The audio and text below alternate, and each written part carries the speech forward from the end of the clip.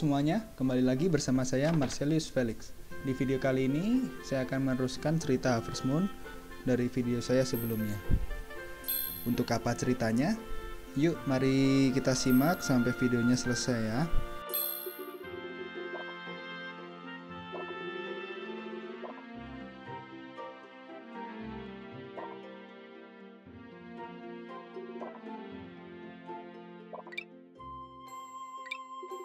Ya, ini si Jen meminta request kepada kita ya. Dia meminta seleri atau bahasa Indonesianya itu seledri ya. Maka kita harus menanamnya. Untuk mendapatkan biji seleri tersebut, kita bisa membelinya di SEM ya. Mungkin habis ini video saya akan saya cepatkan supaya langsung selesai ya.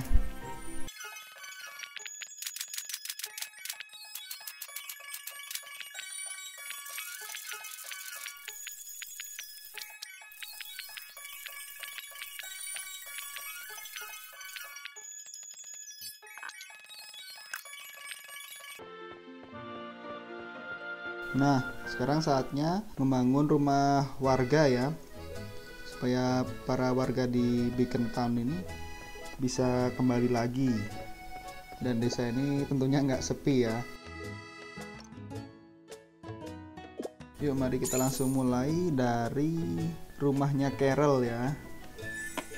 Nah dari rumahnya Carol ini kalian bisa membeli biji bunga ya untuk ditanam. Juga si Carol ini menyediakan seperti pupuk, fertilizer, dan masih banyak lagi.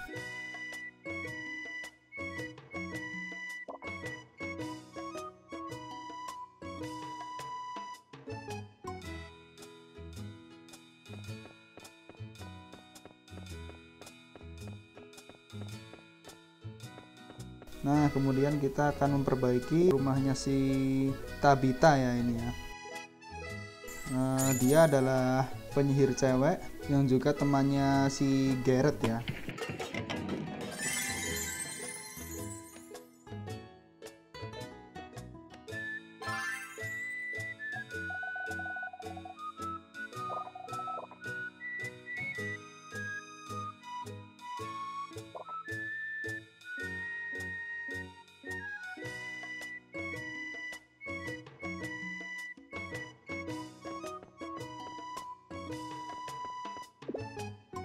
Dan di rumahnya si Gerard persis di samping rumahnya si Tabita yuk mari kita langsung bangun juga.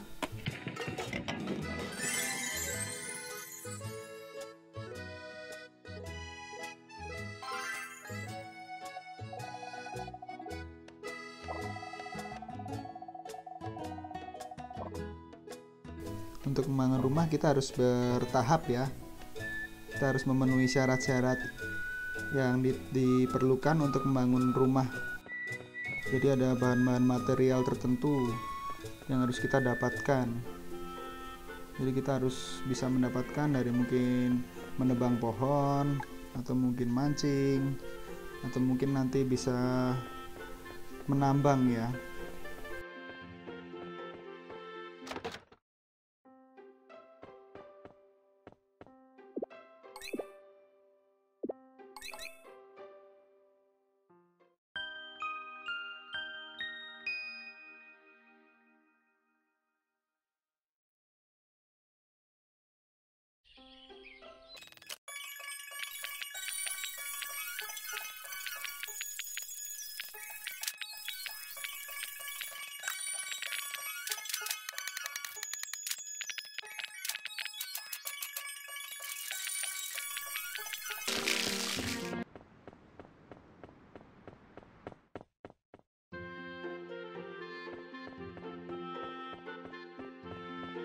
Nah, nanti di sini ketika kita balik ke town hall, maka masyarakat satu persatu akan kembali dan ada cut skin ya.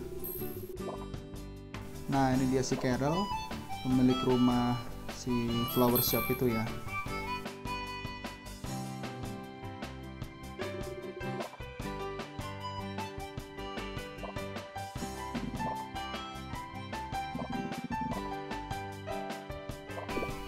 Intinya mereka berdua kaget mengapa mereka kembali kemudian rumah mereka sudah menjadi baik lagi. Dan mereka bersangat sangat berterima kasih kepada kita ya yang sudah membangun. Nah ini dan bakalan ini ada cut skin cut skin di mana yang rumah tadi kita sudah bangun ya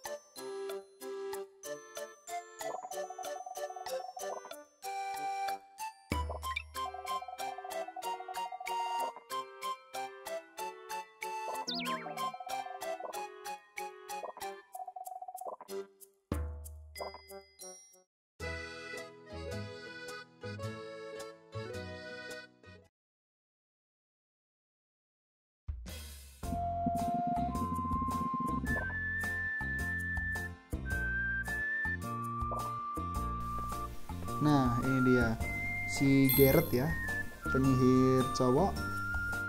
Kekuatan dia itu bisa meramal cuaca pada hari besoknya. Mungkin hari besok hujan, badai, cerah atau mendung, semua bisa diramal oleh si Garrett ini. Namun, kita bisa menemui si Garrett hanya pada saat sore hari di atas jam 3 sore biasanya ya. Sama halnya dengan si Tabita beliau juga bisa hanya bisa ditemui pada sore hari. Jadi kalau siang hari kita mampir ke rumahnya nggak bakalan ada orang yang membukakan pintu untuk kita. Nah ini dia si Tabita ya penyihir cewek yang tadi saya omongin Nah si Tabitha itu uh, mungkin dia saudaranya si Gerard atau temannya si Gerard. Namun si Tabitha itu merasa selalu tersaing dengan si Gerard untuk ilmu sihirnya ya. Maka si Tabitha itu terus belajar, belajar, belajar untuk mengalahkan si Gerard ya.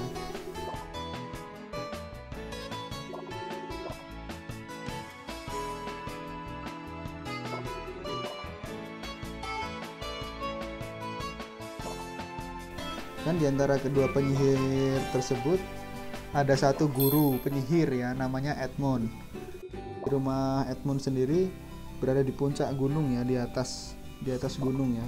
Mungkin nanti saya bahas di cerita selanjutnya di video saya selanjutnya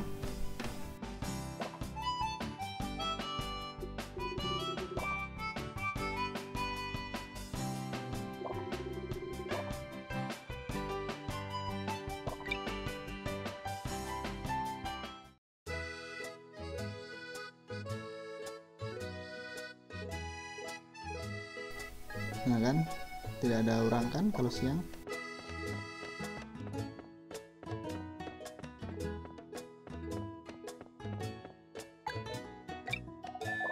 Nah habis ini mungkin kita langsung ke lighthouse ya untuk mengaktifkan stone kedua ya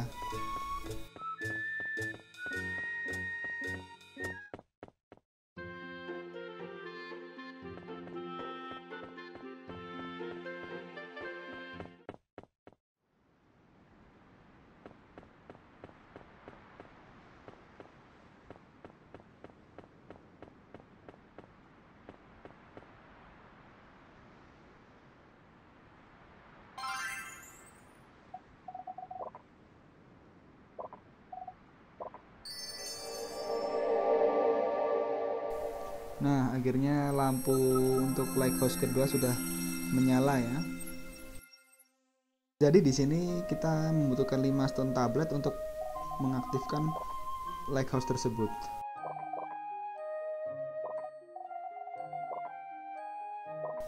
Oke, mungkin sekian video dari saya. Jika kalian suka video saya, tulis kolom komentar di bawah, kemudian di like, share, dan tentunya subscribe untuk channel saya ya. Sampai jumpa di video saya berikutnya. Konnichiwa.